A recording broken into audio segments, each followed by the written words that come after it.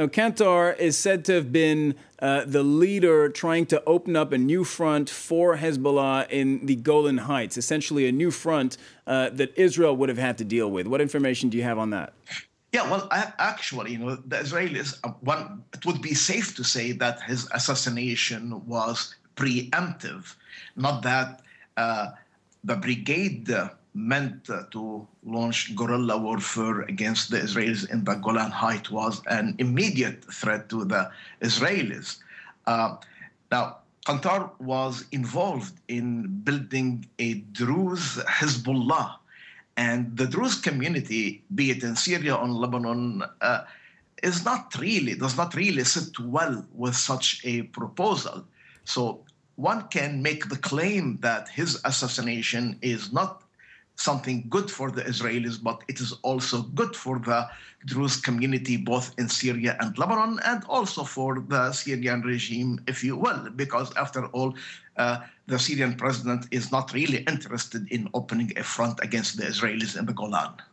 So this could benefit both Israel and Syria, is what you're telling us. Tell us more a little bit about the, the calculus for Israel, if indeed it is Israel that carried out this strike the calculus for Israel in, in these kinds of circumstances because when they carry out uh, precision uh, uh, bombings in uh, these neighboring countries that are all opposed to Israel, enemies of Israel, it's always very difficult to, to carry out these attacks in a very volatile region. You never know exactly what the fallout will be. So, what kind of factors do they have to balance? Well, of course, you know, the Israelis have a superb intelligence apparatus and uh, they have their people on the ground. And uh, usually, I mean, uh, their record at uh, conducting such a precision attacks is well known and uh, it has been demonstrated time and again over, over the years.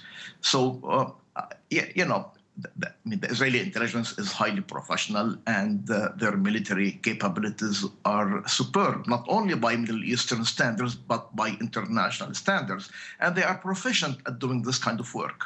But Hilal, my question is more about the the regional political fallout. They're targeting, they're essentially yeah. bombing a foreign country. They bombed Damascus here. Yeah. Uh, what do they risk? Nothing. you know, the Syrian uh, Syria is, a, is shattered by civil war. And this is not the first time the Israelis launched such an attack uh, inside Syria. Again, I mentioned earlier that in 2008 they assassinated Imad Mughniyeh, the key in, uh, officer in Hezbollah, and the Syrians did not respond. If the Syrians did not respond in peacetime situation, there's certainly no reason for them to respond at a time when the Syrian army is is embattled and is busy fighting against rebels throughout the country. And you know, uh, they, the Israelis know what they are doing, and I don't even think that the Iranians would uh, threaten their achievements with the U.S. with regard to the nuclear program and risk an attack against the Israelis right now, or even later. You bring up the example of uh, Imad Mughniyeh, an important uh, Hezbollah figure who was indeed assassinated. You could have also mentioned his son, Jihad Mughniyeh, who was yeah, uh, killed more recently. Yeah, last January, of course. And, you know, yeah. Uh, you mentioned that there's basically no risk of an escalation with Syria. Syria, especially the regime in Damascus, too busy waging its own war, of course, protecting itself. What are the risks of an escalation with Hezbollah, however?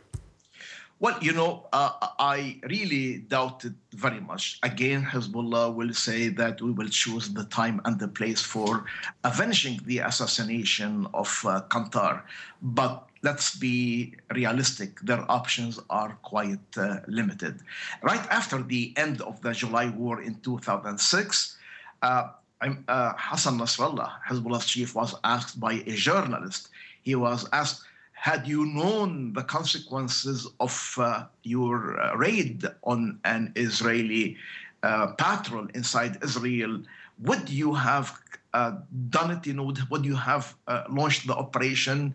He said, Hassan Nasrallah said, no, mainly because of the devastation for Lebanon and the, the death of more than 1,500 Lebanese Shiites and um, the flight of more than 1 million Shiites from the south. So let's be realistic. Hezbollah will never put the community, the Shiite community, which is the basis of its support at jeopardy. So he's not going to put the Shiite community at risk. So essentially, you're telling us that Hezbollah uh, doesn't want to, to risk the the um, the well-being and the lives of its own people in Lebanon. One assumes that perhaps also it doesn't have the means to open up a new front as it's already stretched fighting uh, in Syria.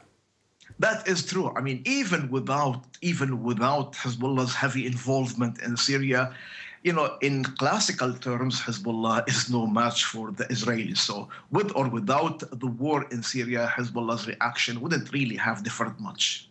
All right, Hilal Khashan, thank you very much. Shedding some light now for us on uh, the impact, limited impact, tells us Hilal today, uh, of uh, the uh, airstrike yesterday that killed a Hezbollah figure in Damascus. Thank you very much.